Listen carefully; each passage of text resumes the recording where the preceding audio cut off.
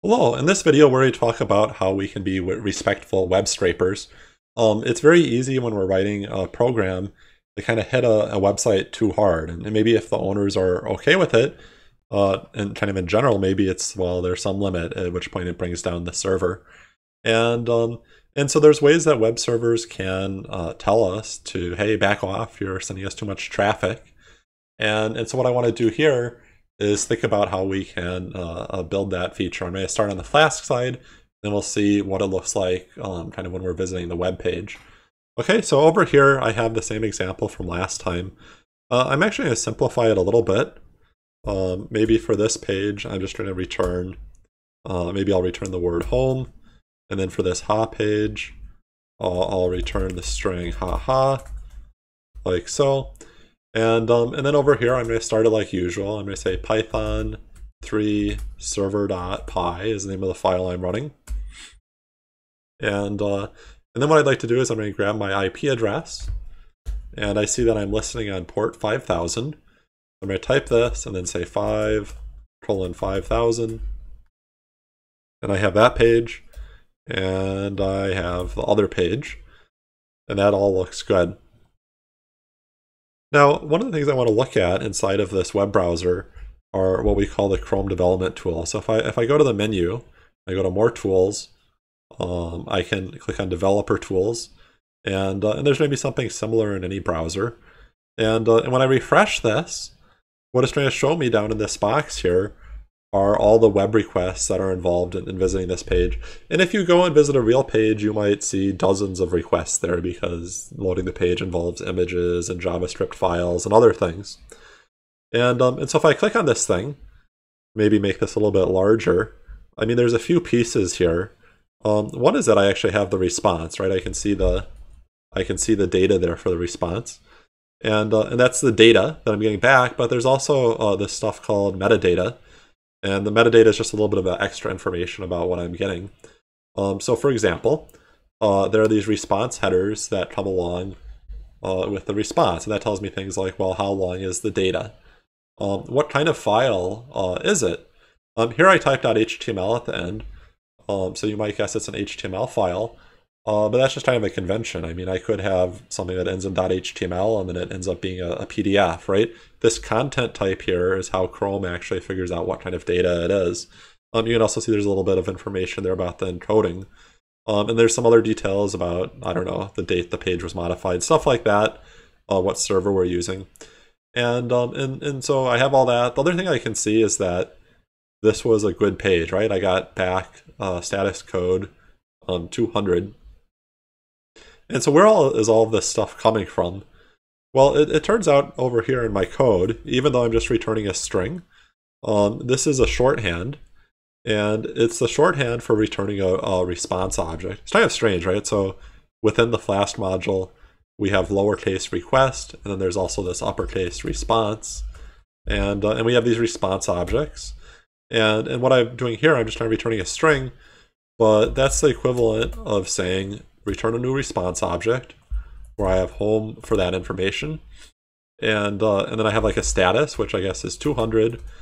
And uh, and then I have uh, headers equals this empty dictionary. Um, when, when I'm kind of looking at these header values over here, uh, I think of like content length as a key and then four as a value. I think content of, content type is a key and then this stuff stuff is a value. And and so there's some that it's creating automatically and uh, and I have the option of putting more in if I like, right? So this line of code here is really just kind of equivalent uh, to this, right? So so that's kind of cool. Um, what it means is I could put extra information in here um, if I wanted to. So for example, um, maybe I'll create another page uh, that's like, um, you know, don't, do not visit. And, uh, and maybe what I'll return here is something like, you know, go away, and the status code will be like 404, right? That's kind of what we get uh, for a missing um, uh, page. And, and, then if I want, I could put whatever I really want in here. I could put something like, um, you know, some key uh, goes to some some value. It doesn't really matter. I can shove anything in there I want. And then if I restart my web server, Control C and then run it again, and um, it's complaining, right? Uh, because I have two endpoints both named home. Um, so let me, uh, I'm just trying to change the name of that function and then I think it'll be happy. And, and so I'm going to do that. And then in this page, I am going to go to all of this slash do not visit. And, um, and you can see here while I get the text like before, let me shrink this down just a little bit. But I, I get the, the text go away uh, like that. Um, if I click on under network, if I click on this thing, I can see that it was a 404 response. And then if I come down to these response headers, down here, I can see that for the headers, there's this extra key and this extra value. So I have some key and uh, and some value there. And um, and so I, I, still get the data, right? I mean, this is the data, but then I kind of have all this uh, metadata, both the status and um, and all of these headers. So in general, right, even though I'm returning a string, you know, Flask will create a response object if I'm not doing it explicitly. Um, so why would we ever want to do it explicitly? Uh, well, it turns out there's a lot of things we could do with this status and, um, and, and kind of these headers.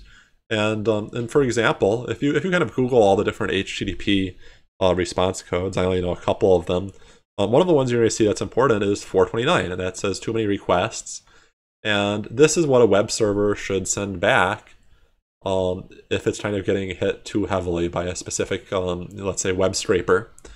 And, uh, and so it's okay, 429, too many requests. If I scroll down a little bit, I see that there's also this optional header, which says retry after, and that's in seconds. And, um, and so that's kind of a polite way to tell a web scraper that, hey, I'm busy right now, you've been sending me too many requests, but wait a bit and then I'll be okay with some more requests. Okay, so let, us try to do this. I, am going to say, so 429 is the number. So, so here I'm going to say 429. And, uh, and then down here, what, what is my key? I guess my key is this thing, retry after. And, and I'll say, well, I want you to retry after, I don't know, three seconds. Maybe I'll try that. Okay, let, let me restart this web server and hit that. And, um, and then let me, let me kind of refresh this page you can see it's uh, it's kind of saying the same thing. If I click on this, well, I'm getting that 429, too many requests, and retry after three seconds. Okay. So what I'd like to do here, kind of big picture, is to have something like this, but I want it to work across all my different functions. Okay? And, and so kind of what I'm trying to do is I want to have a new uh, decorator that will do these response objects if I'm getting too hit too heavily. So, so how can I do that? So um, maybe, uh, what is this thing called here? It's too many. So maybe I'll say define too many, and uh, and you know it's just kind of a general function. And so I'm going to use this as a decorator, right? I'm going to be doing something like this. I'm going to say something like at too many, and, uh, and maybe here I'm just going to say like, you know, let's return uh, hi for now. But I'm going to use this decorator, so hopefully it, it kind of sends that. And, and so this is going to have to take a function, and then it's going to have to return a different function. And, um, and so maybe what I should do here is I should create some sort of wrapper. I'm going to say def wrapper, and, um, and, and I'm wrapping something that doesn't really take any arguments, so I guess that'll be fine just like so. Um, I'm going to call this thing, maybe I'll say like RV equals that. You know what? I think it's fine to even just try to return whatever that thing returns. And then I'm going to return this wrapper here. Right, right. So what will happen is that this function is going to get swapped out for this wrapper, which basically does the same thing. And, and then up here, what I'm going to do is sometimes I'm going to return a response object that will say, um, you know, go away. Um, and the status will equal 429. And then I'll say something like, you know, headers equals retry after, let's say like three seconds. Okay, so, so let's let's try this and see if I can kind of get this behavior. on. so I'm to run this thing, and, and, of course, right, you know, to do only sometimes do this, right? I don't always want to tell people to go away, just kind of when I'm too busy. Right, so I'm to run this, and then I'm to refresh this page, and, and you see it works beautifully. I'm doing the same thing um, that I had before. Um, what if I want to have it apply to all my pages, right? So let's say I want to have it be for this one. Um, what I can do is I can I can put it here for the other ones as well. Um, this is kind of weird, right? When I'm having multiple decorators because each one has a chance to kind of swap out uh, the function and it works from the inside out. So kind of this is the original one and this has a shot to swap out or register it. And then this has a, a shot to kind of um, swap out or register it. So it's important that I'm putting this directly before uh, I have this. Otherwise, this would just kind of bypass and jump straight to the page. So I have this thing, and uh, and I'm going to kind of run it again. And you see this issue I'm hitting, right, is that says view function mapping is overwriting existing endpoint, which is wrapper. Uh, well, what's going on here?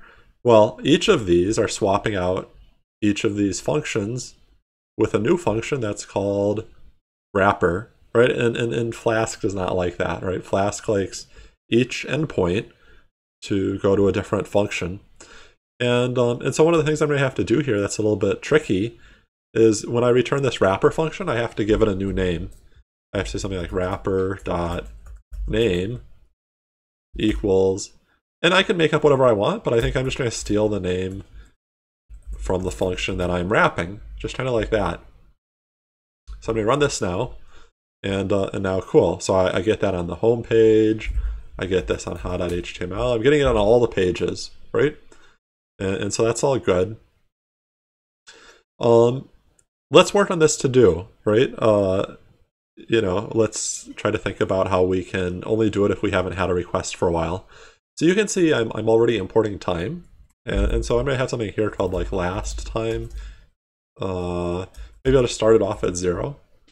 And, uh, and, and, then what I'm going to do here is I'm going to figure out, well, uh, what is the current time?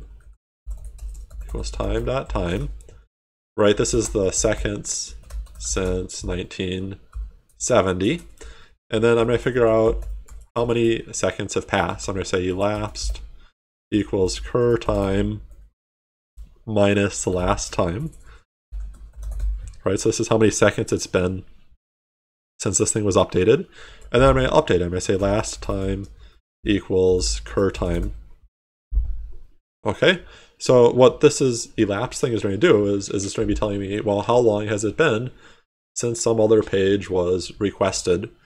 And, and so what I'll say is, you know, if you've already asked for one page within the last three seconds, you're just going to have to wait. So I'm going to say if elapsed is is kind of less than three, so so you've kind of asked recently, uh, I, am going to do this.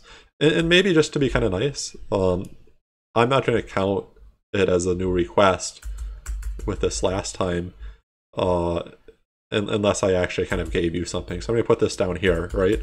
It doesn't reset the clock of when you last um, asked for something unless we're actually giving you something. Okay, so let me let me kind of refresh this. I'm to come back here and and well, that's horrible. Um, let me kind of see. I have some sort of well, it's not running. okay, we run it. I'm to refresh this page and still still no go. A local variable last time referenced before assignment. Oh yeah, because I guess this is kind of a global variable, and uh, and I'm making it a local variable here. Let me just do this. I'm going to say global last time, like this, and uh, and restart this thing. Then I'm to refresh it, and it says, haha. You see, I, I refresh again, and it says go away. If I keep hitting refresh, it only lets me really kind of get my data once every three seconds. And that's true even if I jump to a different page, right? And, uh, and, and so I can kind of use this for all of them. This is a way to do what we call rate limiting, right? I kind of limit how many requests I'll take. And I guess now it's very slow. Like I get one request every three seconds. Um, now I'm to leave it here, but with kind of one to do. I mean, it's not very fair that I would refuse one client service just because another client recently kind of sent me a bunch of traffic. So to really do this properly, uh, keep track of um, of kind of you know the last time on a per client basis. And, and there's different ways I could do that. Um, I think like you know in, in Flask I can get the IP address of the computer that's sending me the traffic, and, and then I could kind of to make it fair I could say well um, I'm only going to kind of send you away if, if I've been getting a lot of requests from the same uh, IP address for a while.